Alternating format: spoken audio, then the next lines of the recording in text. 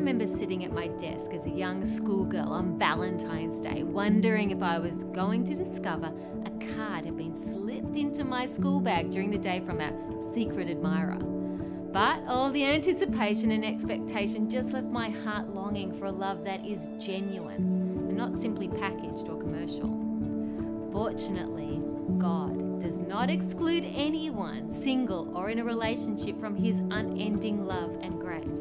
Love is how God expresses Himself completely. In 1 Corinthians chapter 13, verses 4 to 8, Paul tells us the character traits of love, what love looks like. He says love is patient, love is kind. It does not envy, it does not boast, it is not proud, it does not dishonor others, it's not self seeking, it's not easily angered, it keeps no record of wrongs.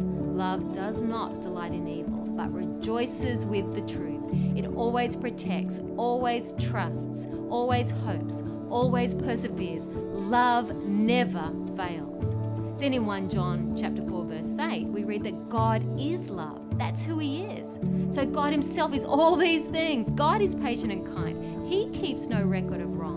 He always protects, always trusts, always hopes, and always perseveres.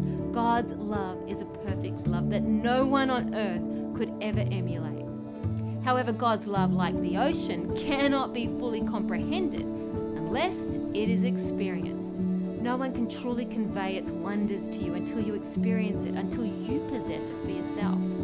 I can honestly say that once I experienced the love of God, I was never the same. I remember the moment like it was yesterday as a young girl doubting the very existence of God, wondering, is God real? How could this loving God, who I'd never experienced, who in my fragile perspective had never shown me any love, be real? But the thought of God not being real was too much for me to bear. So I made a decision that night whether I ever experienced God's love or not. I was going to serve Him regardless for the rest of my life. It was an act of faith.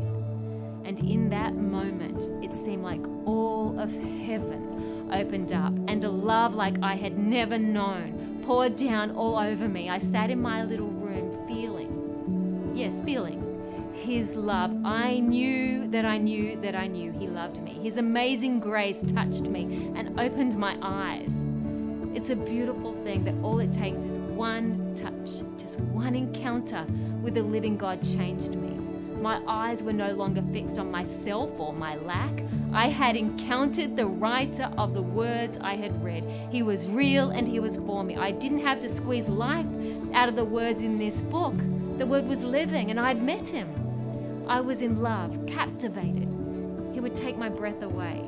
Yes, God is love.